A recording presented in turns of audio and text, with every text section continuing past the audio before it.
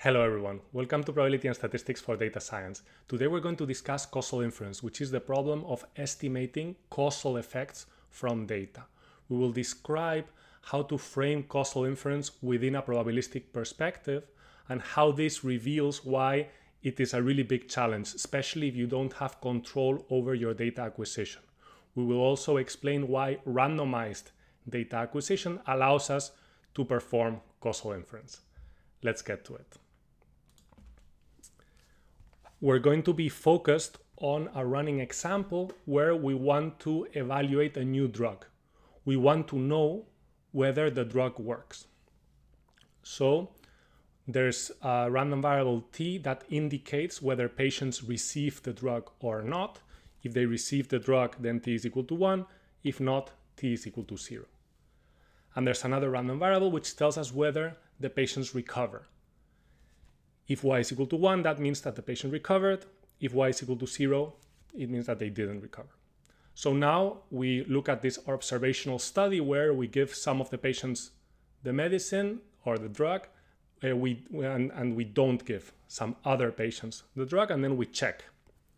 And what we observe is that the probability that a patient recovers if they did not um, receive the drug which is captured by this conditional PMF of recovery given treatment, evaluated at 1 and 0, uh, that probability is 0.38.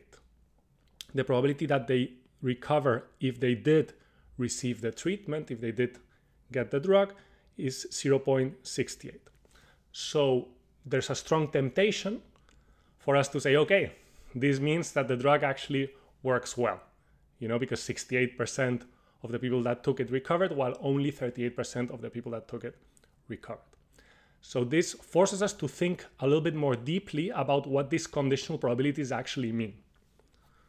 So what do these conditional probabilities mean? What they do mean is that indeed 68% of the treated patients recovered and 38% of the untreated patients recovered. But does this really capture the causal question that we're trying to ask, which is, does this drug actually work?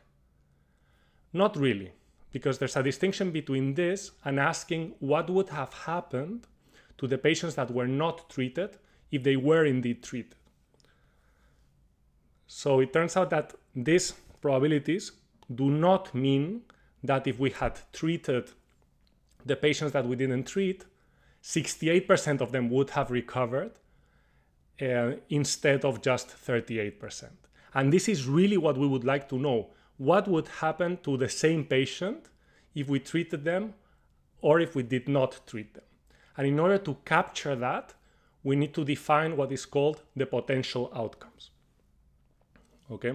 Oh, I, I kind of, you know, run to the next slide, but just to make it very clear, why is it true that uh, these probabilities do not mean that if we had uh, treated the untreated patients, then the probability would go high necessarily.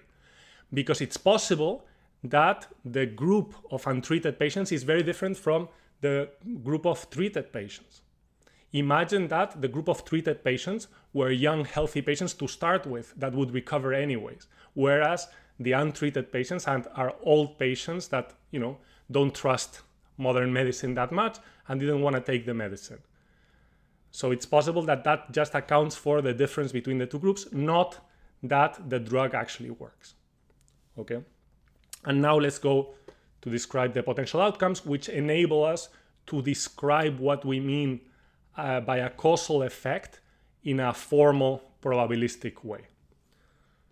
So as I said, we would actually like to know what would happen if we did not treat the patients that we actually treated.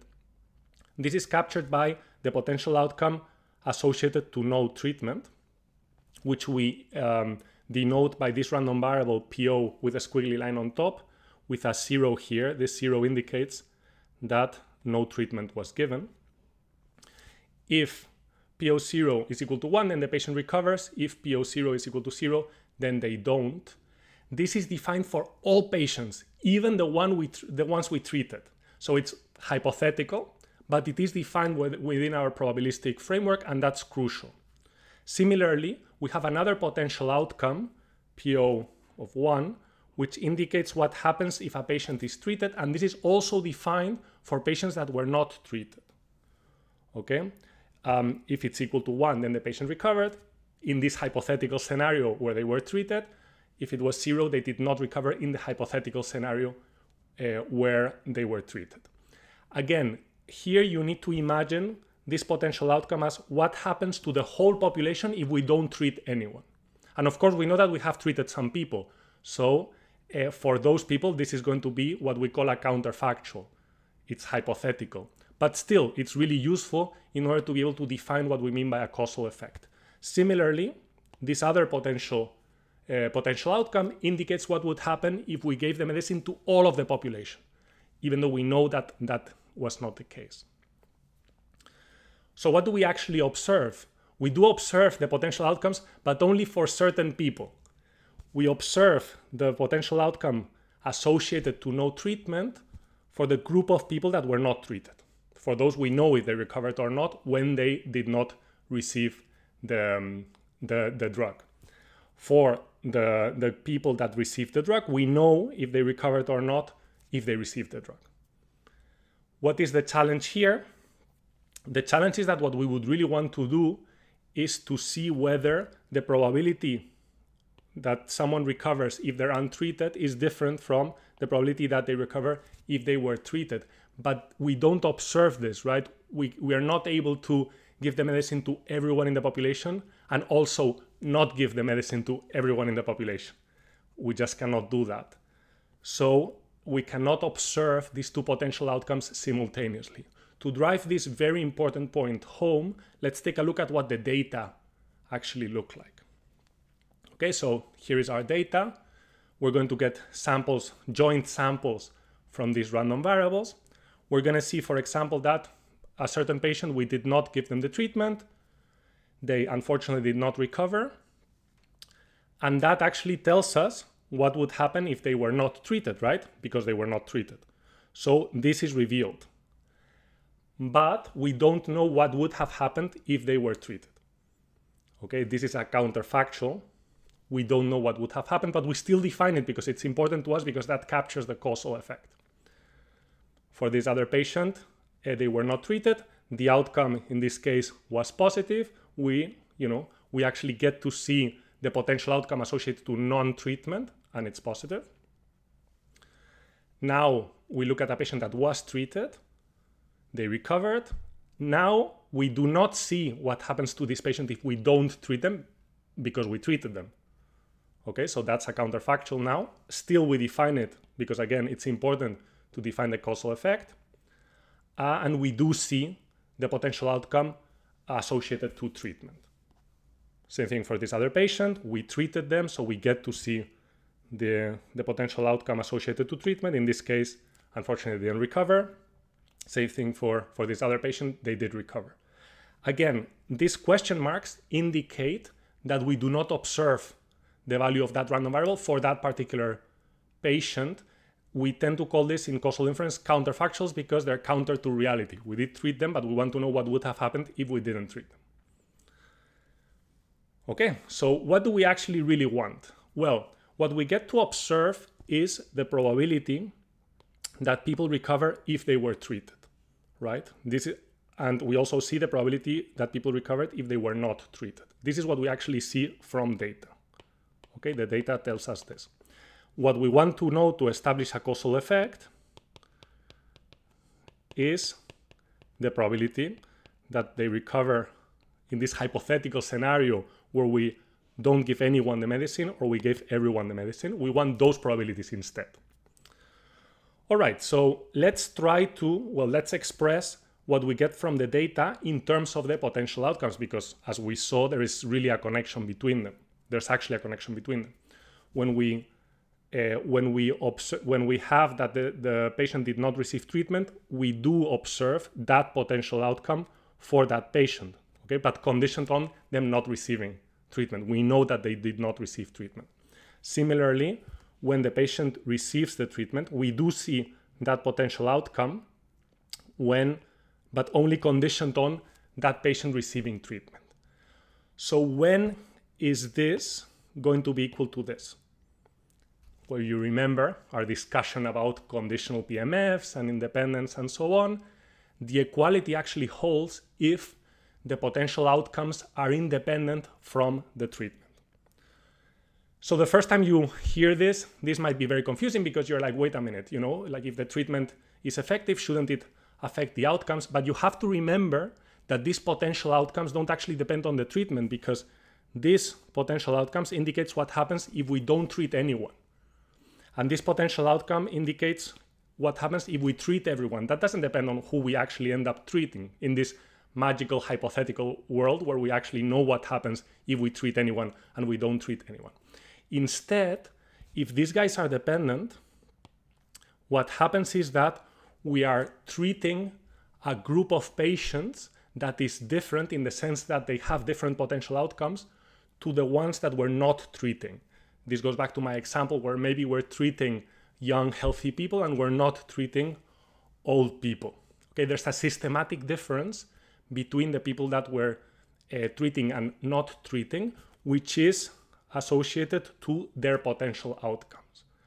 All right, so hopefully that is clear. If they're independent, though, then the population of treated patients is actually uh, very similar statistically with respect to the potential outcomes to the population of untreated patients. And that makes a lot of sense. That's exactly what we want. So that then the observed probabilities are actually um, a reasonable estimate of causal effects.